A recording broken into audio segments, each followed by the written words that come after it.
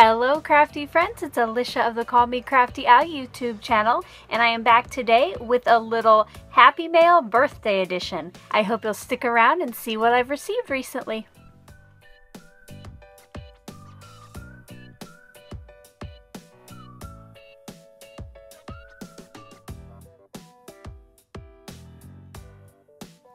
A great big welcome back to my subscribers and regular viewers. And if this is your first time to my channel, I hope that by the end of this video, you'll be inspired to click on that subscribe button below and maybe even tap that bell for notifications.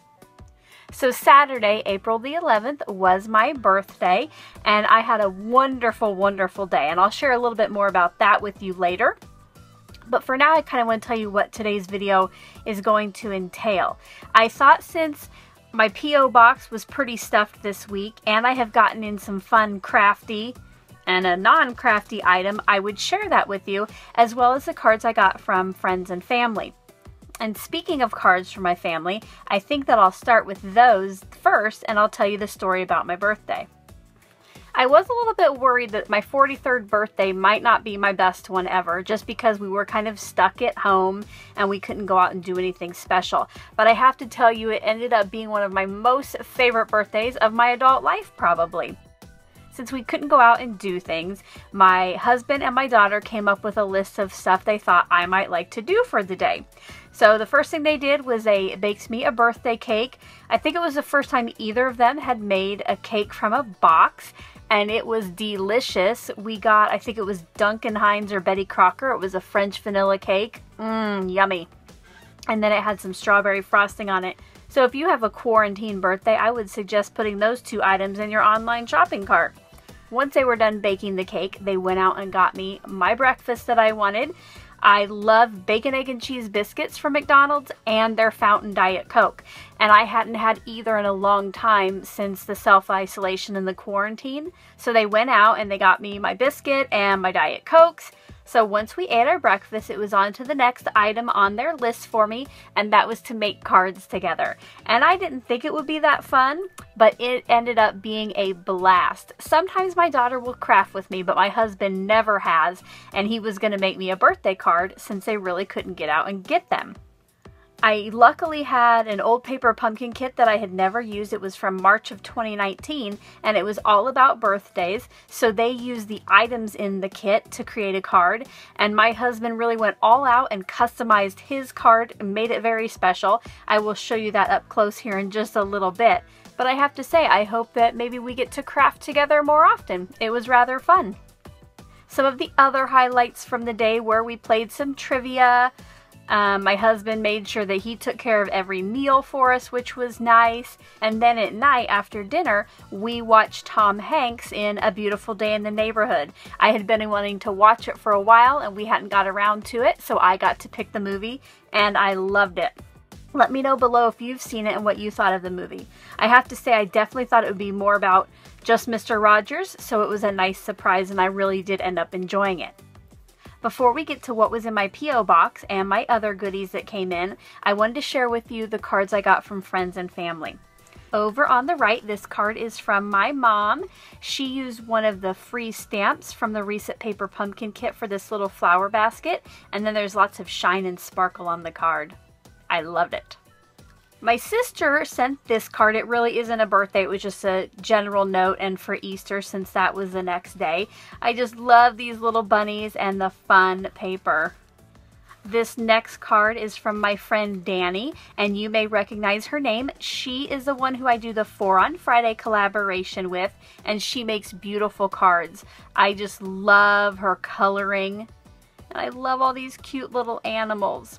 I'll link her blog below so you can go check out her other creations. I know that you're going to love it there. Next up was a card from my brother and sister-in-law. And this was, I believe, a card actually that my mom had made. And she gave my sister-in-law some cards just to send out.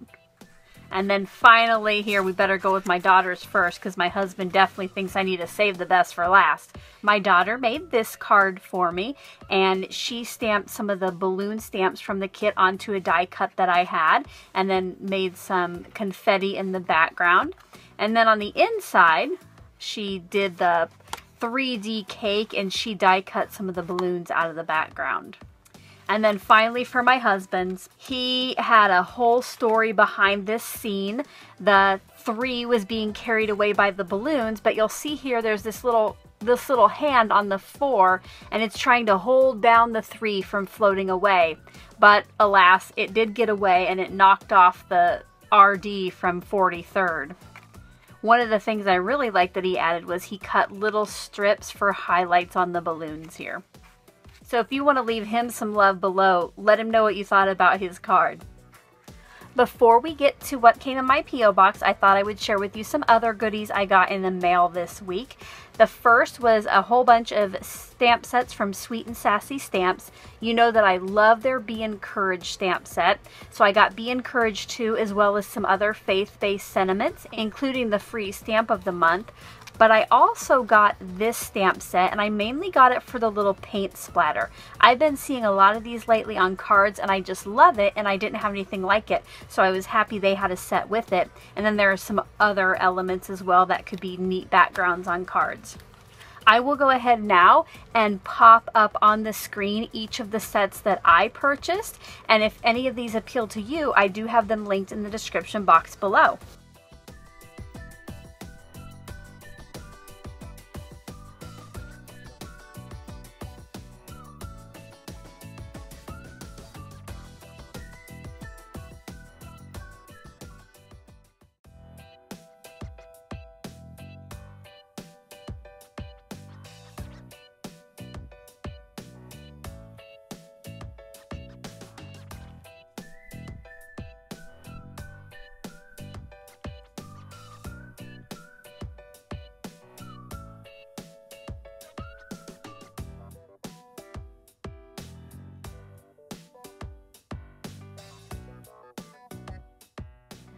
And finally for my goodies, a little happy birthday to me from me. It is the latest issue of Allure with the Dixie Chicks on it and a special interview inside. I am a huge Dixie Chicks fan. I cannot wait until May 1st when their new album comes out. So I decided to treat myself to this and I cannot wait to read the article. And now I want to share with you what I've gotten from my P.O. box. Normally I would do this feature at the end of the month, but because I had so many in there when I went in on Friday, and because some people had contacted me saying they might like to send me a birthday card, I decided to go ahead and do mid-month a birthday special of these. So some of these might be show us your sheet loads, and others just might be happy mail cards. This first one is from Colleen W and she has used the latest sheet load of cards to create her card. This is the April 2020 sheet load. Such an adorable Easter card.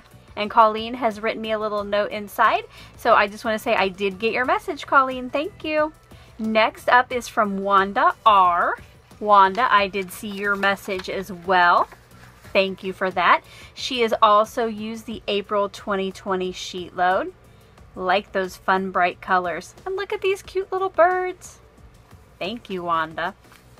The next one is from Jacqueline C. Oh, fun. Look at that. There's a little tag in the pocket at the front. Oh, and on the inside, there's another little pocket here with a little note in it. Let me go read this. I'll be right back. All right, so I read the note and Jacqueline has actually challenged me to tag some of my crafty friends or family members and send them cards and ask them to pass it along as well. Jacqueline, I think I'll take you up on that. Thank you so much. Next is from Nancy L. Hers has a little birthday hat on here. Yes, it is a birthday card for me.